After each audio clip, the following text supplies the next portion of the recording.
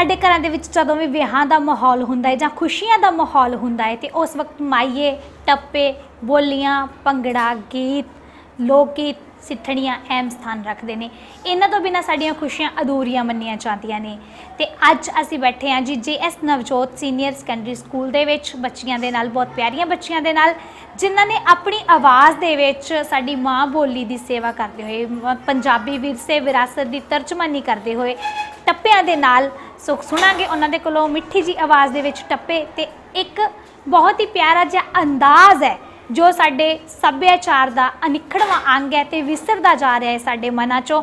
Amazing TV ਨੇ ਉਸ ਵਿਰਸੇ ਨੂੰ ਸੰਭਾਲਣ ਦੀ ਇੱਕ ਛੋਟੀ ਜਿਹੀ ਕੋਸ਼ਿਸ਼ ਕੀਤੀ ਆ। ਉਮੀਦ ਕਰਦੇ ਹਾਂ, ਆਸ ਕਰਦੇ ਹਾਂ ਕਿ ਤੁਸੀਂ ਸਾਡੀ ਇਸ ਕੋਸ਼ਿਸ਼ ਨੂੰ ਅੱਖਾਂ ਤੇ ਪਲਕਾਂ ਤੇ ਬਿਠਾ ਲਵੋਗੇ ਤੇ ਇਦਾਂ ਹੀ ਅਮੇਜ਼ਿੰਗ ਟੀਵੀ ਨੂੰ ਅੱਗੇ ਤੋਂ ਵੀ ਇਹਨਾਂ ਪੰਜਾਬੀ ਵਿਰਸੇ ਮਾਂ ਬੋਲੀ ਵਿਰਾਸਤ ਦੀ ਤਰਜਮਾਨੀ ਤੇ ਇਹਦੀ ਸੇਵਾ ਕਰਨ ਦਾ ਇਦਾਂ ਹੀ ਮੌਕਾ ਦਿੰਦੇ ਰਵਾਂਗੇ। ਸੋ ਬਹੁਤ ਪਿਆਰੀਆਂ ਪਿਆਰੀਆਂ ਬੱਚੀਆਂ ਦੇ ਨਾਲ ਗੱਲਬਾਤ ਤੇ ਉਹਨਾਂ ਦੇ ਕੋਲੋਂ ਸੁਣਦੇ ਆ ਟੱਪੇ। ਸਤਿ ਸ਼੍ਰੀ ਅਕਾਲ ਜੀ ਤੁਹਾਨੂੰ ਸਾਰੇ ਬੱਚਿਆਂ ਨੂੰ। ਸਤਿ ਸ਼੍ਰੀ ਅਕਾਲ। ਜੀ। ਸਤਿ ਸ਼੍ਰੀ ਅਕਾਲ। ਕੀ ਨਾਮ ਹੈ ਜੀ ਤੁਹਾਡਾ? ਮੁਸਕਾਨਦੀਪ ਕੌਰ। ਤੁਹਾਡਾ? ਰਮਨਦੀਪ ਕੌਰ। ਲਵਪ੍ਰੀਤ ਕੌਰ। ਅਰਸ਼ਪ੍ਰੀਤ ਕੌਰ। ਤੁਹਾਡਾ ਨਾਮ ਕੀ ਹੈ? ਰਾਜਨਦੀਪ ਕੌਰ। ਜਸ਼ਨਪ੍ਰੀਤ ਕੌਰ। ਸਨਮਦੀਪ ਸਰਪ੍ਰੀਤ ਕੌਰ। ਪੂਜਾ ਕੁਮਾਰੀ। ਕੀ ਬਾਤ ਹੈ ਜੀ? ਇਹ ਬਹੁਤ ਪਿਆਰੀਆਂ ਪਿਆਰੀਆਂ ਬੱਚੀਆਂ ਨੇ ਮੇਰੇ ਨਾਲ। ਸੋ ਇਹਨਾਂ ਦੇ ਕੋਲੋਂ ਪੁੱਛਦੇ ਹਾਂ ਜੀ ਕਿਹੜੀ ਕਲਾਸ ਹੈ ਤੁਹਾਡੀ? ਅਲੱਗ-ਅਲੱਗ ਕਲਾਸ ਹੈ ਕਿ ਇੱਕ ਹੀ ਕਲਾਸ ਦੇ ਹੋ sir class 8th 8th class ਦੇ ਸਟੂਡੈਂਟ ਹੈ ਜੀ ਬਹੁਤ ਪਿਆਰੀਆਂ ਬੱਚੀਆਂ ਨੇ 8th ਕਲਾਸ ਦੀਆਂ। ਇਹ ਤੁਹਾਨੂੰ ਜਿਹੜੇ ਟੱਪਿਆਂ ਦੀ ਤਿਆਰੀ ਹੈ ਇਹ ਕਿਸੇ ਟੀਚਰ ਨੇ ਕਰਵਾਈ ਹੈ ਜਾਂ ਕਿਸੇ ਕੋਰੀਓਗ੍ਰਾਫਰ ਨੇ ਬਾਹਰੋਂ ਆ ਕੇ ਕਰਵਾਈ ਹੈ? ਟੀਚਰਸ ਨੇ ਓਕੇ ਸਾਰੇ ਟੀਚਰਸ ਨੇ ਰਲ ਕੇ ਕਰਵਾਈ ਹੈ? ਇੱਕ ਟੀਚਰ ਨੇ। ਕੀ ਨਾਮ ਹੈ ਉਹਨਾਂ ਦਾ? ਰੈਡੀ ਮੈਮ ਓਕੇ ਕੀ ਬਾਤ ਹੈ ਜੀ। ਜਦੋਂ ਟੀਚਰਾਂ ਦੇ ਵਿੱਚ ਇਹ ਚੀਜ਼ਾਂ ਦੇ ਇੱਕ ਉਤਸ਼ਾਹ ਹੁੰਦਾ ਹੈ ਆਪਣੇ ਬੱਚਿਆਂ ਨੂੰ ਕੁਝ ਵੱਖਰਾ ਕਰਵਾਉਣ ਦਾ, ਤੇ ਫਿਰ ਬੱਚੇ ਕਿਉਂ ਨਹੀਂ ਉਹ ਐਕਟੀਵਿਟੀ ਨੂੰ ਫੋਲੋ ਕਰਨਗੇ, ਉਸ ਚੀਜ਼ ਨੂੰ ਫੋਲੋ ਕਰਨਗੇ। ਸੋ ਆ ਸੁਣਦੇ ਬੱਚਿਆਂ ਦੇ ਕੋਲੋਂ ਟੱਪੇ। ਬੋਲੀ ਅਕਲਾਂ ਦੀ ਖਾ ਕੁੜੀਏ।